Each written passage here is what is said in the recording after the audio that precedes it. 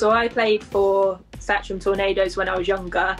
Uh, I was the only girl on the team, and it was one of those where turned up, got a few looks, but um, at the end of the season they voted me players player, so I obviously uh, turned a few heads.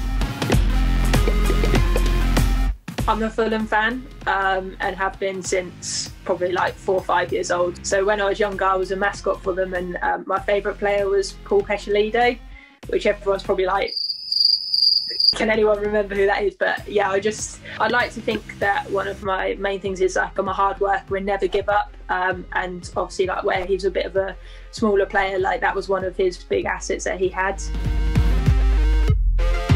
So I work full time. I work for for the police. So it's quite a demanding, um, demanding job.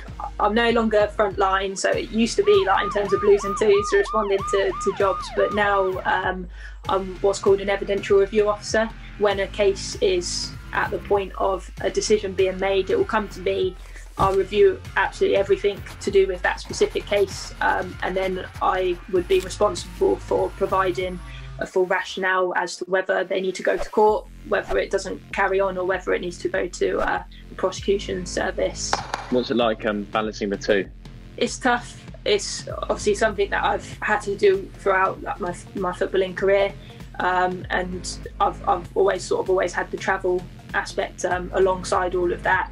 Um, so it, it is tough, like in terms of having to sometimes even choose football over like being able to see family and things. But ultimately um, it's a commitment. It's something that i've always put 100% into. Um, i love playing football. I enjoy it. It's my passion. It's it's what i would love to do day in day out. Um, and i think when you've got that that drive and, and, and that passion as i said it does mean that everything else although it can sometimes be hard but you just accept it and you, you deal with it as best you can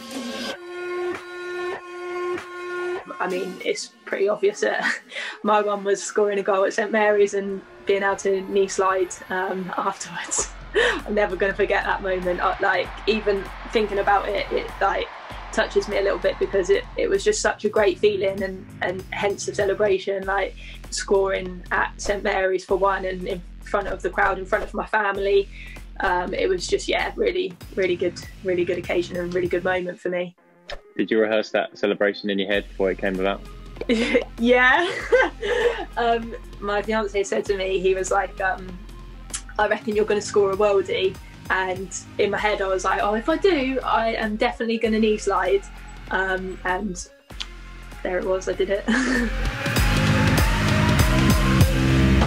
it's really nice to think that someone would consider um, me or anyone at the club as a role model um, funny enough, like not too long ago, um, Phoebe like, messaged me saying that when she was driving in Southampton, they came across um, like a young a young girl with um, a Saint shirt on with panting on the back, and like when she told me that, I was like, wow, that's that's amazing. Like it's so lovely that someone would even think I, I want to put panting on the back of um, my shirt. So it's nice to think that someone, um, especially the younger girls at the, the club or what have you, look up to you. Um, and, and hopefully, as the women's game keeps continuing to progress, there'll be more and more um, role models out there, um, which will be fantastic.